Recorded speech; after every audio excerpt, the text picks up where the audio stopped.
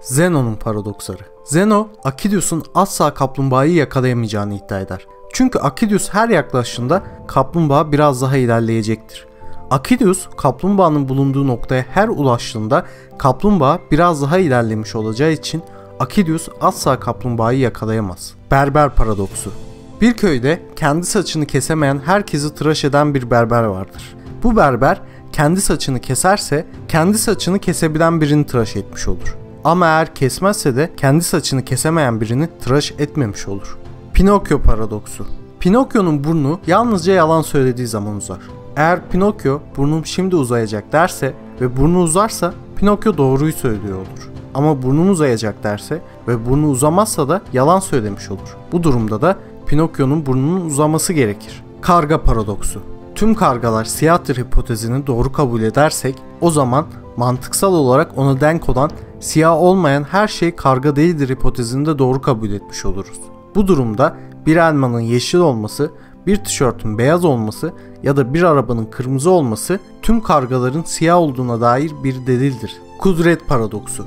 Her şeye gücü yeten bir varlık kendi kaldıramayacağı bir taş yaratabilir mi? Eğer bu taşı yaratırsa gücünün yetmeyeceği bir taş yaratmış olur. Eğer bu taşı yaratamazsa da bu taşı yaratmaya gücü yetmemiş olur. Bekleyiş paradoksu. Bir öğretmen öğrencilerine önümüzdeki hafta içinde bir gün sürpriz bir sınav yapacağını söyler. Öğrenciler sınavın hangi gün yapılacağını önceden bilemeyeceklerdir. Öğrenciler düşünmeye başlar. Sınav cuma günü yapılamaz çünkü cuma sabahına kadar sınav yapılmamışsa sınavın o gün olacağını bilirler ve bu sürpriz olmaz. Sınav perşembe günü de yapılamaz çünkü cuma günü olmayacağını bildiklerine göre perşembe günü yapılması da sürpriz olmaz. Aynı mantıkla devam edersek sınav çarşamba, salı ve pazartesi günleri de yapılamaz. Theseus'un gemisi paradoksu. Theseus'un gemisi yüzyıllardır bir limanda durmaktadır. Zamanla eskiyen parçaları geminin onarımı için değiştirilmiştir. Ancak aradan yüzyıllar geçtiği için Theseus'un gemisinin değişmeyen bir parçası kalmamıştır. Bu durumda Theseus'un gemisi hala Theseus'un gemisi midir? Sorites paradoksu. Bir kum yığınından birer birer kum tanesi çıkardığınızda kaç kum tanesi çıkardıktan sonra kum yığını olmaktan çıkar? Oğuz Atay'ın yaklaşımıyla bir çocuk tam olarak ne zaman büyür? Eşek paradoksu. Bir eşeğe aynı mesafede ve aynı büyüklükte iki saman yığınından birini seçip yemesini emrederseniz eşek için ikisi de aynısı olacağından ikisinden birini tercih edip yiyemez ve açlıktan ölür. Büyük baba paradoksu. Eğer bir insan geçmişe gidip büyük babasını daha baba olmamışken öldürebilirse henüz babası doğmamış olacağı için o insanın da dünyaya gelmemiş olması gerekir. Ama eğer o insan dünyaya gelmemişse geçmişe gidip büyük babasını öldüremez. Schrödinger'in kedisi paradoksu.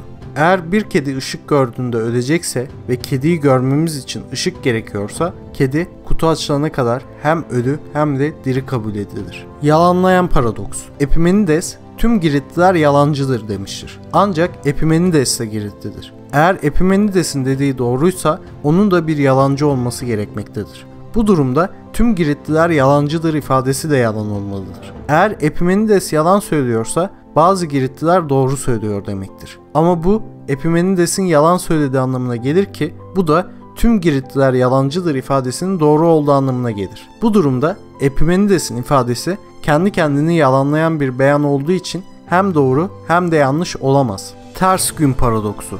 Eğer bugün ters günü ise ve biri bugün ters günü derse bu ifade doğru mu yoksa yanlış mı olur? Eğer bugün gerçekten ters günü ise o zaman söylenen her şeyin tersi doğru olmalıdır. Bugün ters gün ifadesi de ters güne dahil olduğu için bu ifadenin tersi doğru olmalıdır. Yani bugün ters gün değil olmalıdır. Eğer bugün ters gün değil doğruysa o zaman bugün ters gün değil demektir. Ancak bu durumda da bugün ters gün ifadesi doğru olur ve döngüsel bir çelişki ortaya çıkar. Tolerans paradoksu.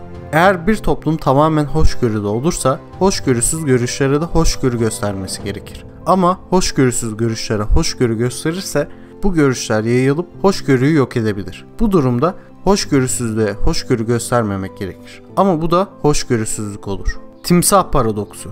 Bir timsah bir çocuğu kaçırır ve ebeveynine çocuğu geri verip vermeyeceğini tahmin etmesini söyler.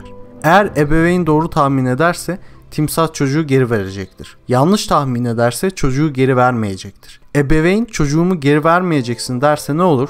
Eğer timsah çocuğu geri vermezse ebeveynin tahmini doğru olmuş olur ve timsahın çocuğu geri vermesi gerekir. Ama timsah çocuğu geri verirse ebeveynin tahmini yanlış olur ve timsahın çocuğu geri vermemesi gerekir. Dikotomi paradoksu. Bir kişi belirli bir mesafeyi kat etmek isterse önce bu mesafenin yarısına ulaşmalıdır. Sonra kalan mesafenin yarısını, sonra yine kalan mesafenin yarısını ve bu şekilde devam ederek sürekli kalan mesafenin yarısına ulaşmalıdır. Her seferinde kalan mesafenin yarısını sarf edeceği için kalan mesafe hiçbir zaman sıfırlanmayacaktır. Bu yüzden kişi hiçbir zaman hedeflediği noktaya ulaşamayacaktır. En ilginç bulduğunuz paradoksu yorumlarda belirtmeyi unutmayın. Ben de kendi en ilginç bulduğum paradoksu yorumlarda açıklayacağım. İzlediğiniz için hepinize çok teşekkür ediyorum.